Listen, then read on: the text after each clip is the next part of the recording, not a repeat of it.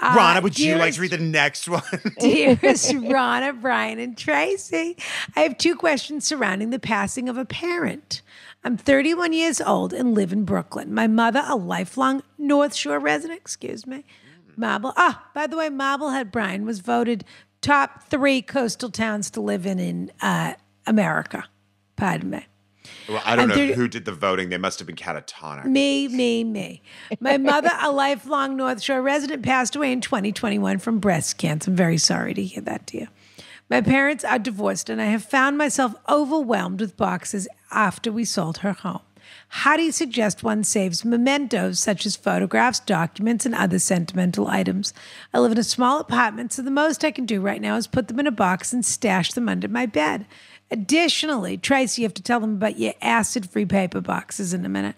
Additionally, how does one deal with the items that don't possess inherently sentimental value but do once someone has passed? That's a great question. For example, I have a floor lamp that is not my style and don't really have a place for it. Uh, but it was a gift from my mother for my very first solo apartment. I want to part with it, but can't bring myself to take that step. Some background. My oh, yeah. my mother was a clinical hoarder, and for oh, that oh, like clinically reason, diagnosed, I guess. Yeah. How- yeah. But how about bringing this up at the end?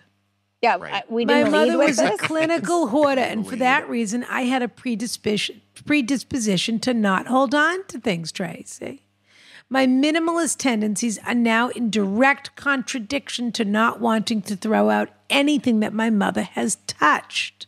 It feels like a betrayal. Mm. Thank you for any advice you may be able to impart. What a great, now that is really fascinating. This is fascinating. So there's a couple things going on. The There's a lot of emotional relationship with the hoard the has passed relation- on. Exactly. And, you know, so clients say this. So, one of the things that we do, big part of our business is we clean out homes after someone's passed away. So, we deal with this all the time. And the thing that people need to remember is that you don't want the stuff, you want to keep the connection. You, you want that person still in your life. So, we've sort of convinced ourselves like the more I keep, the less, you know, the less that they'll go away.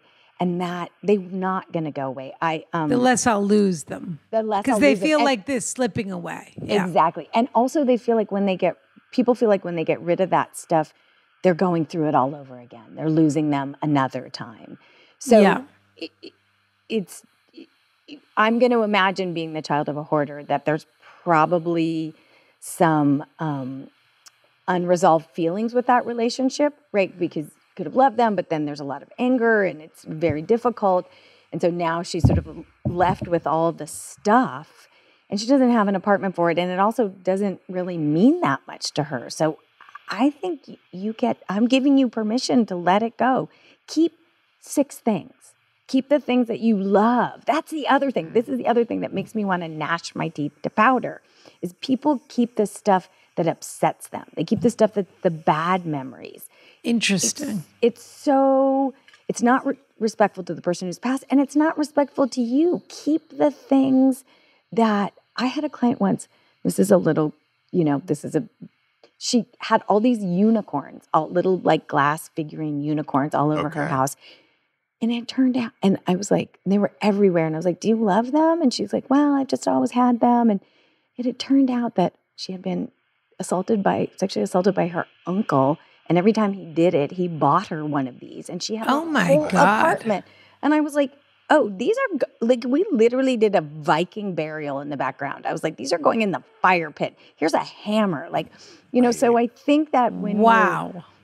when we're working, you know, when we're left with stuff, it could be unresolved feelings, it could be, you know, but keep the stuff that makes you happy. Keep the memories. She said it, the lamp isn't her style anymore.